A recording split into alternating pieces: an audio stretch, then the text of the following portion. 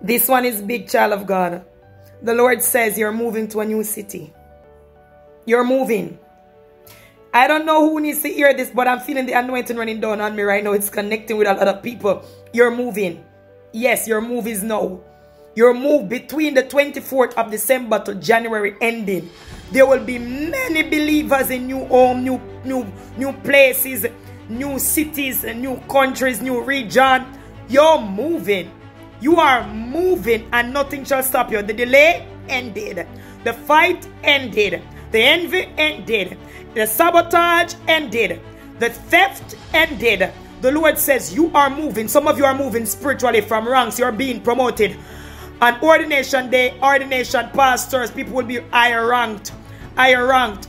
But I also see not only spiritual movement, but physical relocation. Rebonde I seal your, your endeavors. I seal this move, this growth spiritually and physically in the blood of the Lamb over our lives. And any demon I decree and declare, any devil, any demon from the kingdom of darkness or his advocate that would come against it dies by fire. The Lord says, You're moving.